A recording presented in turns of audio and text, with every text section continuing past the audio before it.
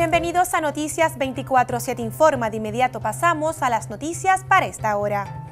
El alcalde de Loíza, Eddie Manso, participó hoy junto al superintendente de la policía, José Caldero, en una reunión con comerciantes y residentes de la comunidad de Piñones. El asunto a tratar lo fue la seguridad del sector ante el tiroteo registrado recientemente en la zona, así como las alternativas para combatir la criminalidad en dicho municipio.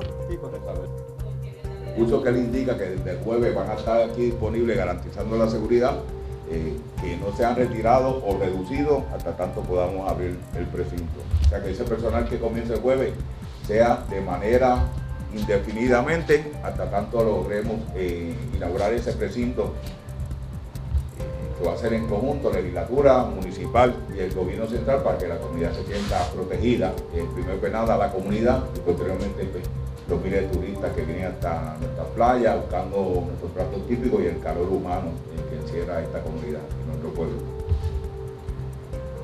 Me reitero nuevamente, denme la oportunidad este, de que vean la presencia policial y el trabajo que va a hacer la policía.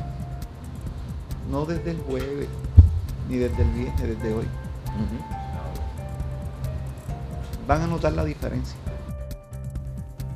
Pasando al plano internacional, el secretario de Estado de los Estados Unidos, John Kerry, reclamó hoy al Congreso la autorización formal del presidente Barack Obama para llevar a cabo una guerra contra el Estado Islámico en Irak y Siria.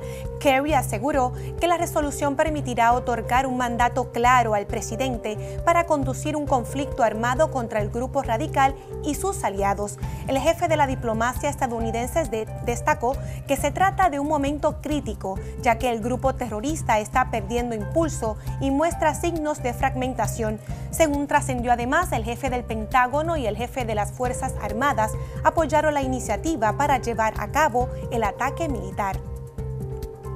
Entre tanto, las autoridades militares lograron recuperar una parte del helicóptero del ejército de Estados Unidos que se estrelló durante una misión de entrenamiento en Florida anoche. El accidente podría haber causado la muerte de los 11 soldados que participaban en la misión. Según informes, algunos restos humanos fueron arrastrados por la corriente hasta la costa tras el accidente.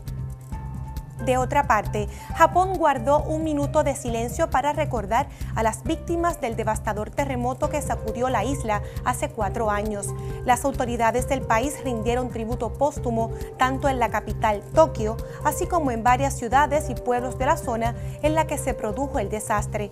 El pasado 11 de marzo del año 2011 se desató un tsunami que colapsó la central nuclear de Fukushima arrastrando todo lo que encontró a su paso y cobrando la vida de más de 18 mil personas. Al momento muchos de los sobrevivientes aún siguen sin poder volver a sus pueblos ya que las tareas de reconstrucción no han terminado, mientras unas 2.500 personas continúan desaparecidas. En otras notas, si usted pensaba que solo los perros recibían entrenamiento, se equivoca. Se trata de Amy, una cerdita que recibe su entrenamiento de obediencia. Aunque en un principio Amy parece un poco desconcertada, esta participa activamente de su entrenamiento. Claro está, por cada paso que dé de forma correcta, recibe su recompensa. La cerdita llamada Amy. Si conocen a alguien así, ya usted sabe. Para ver estas y otras noticias, visite nuestra página noticias247.pr y síganos en las redes sociales de Facebook y Twitter. Buenas tardes.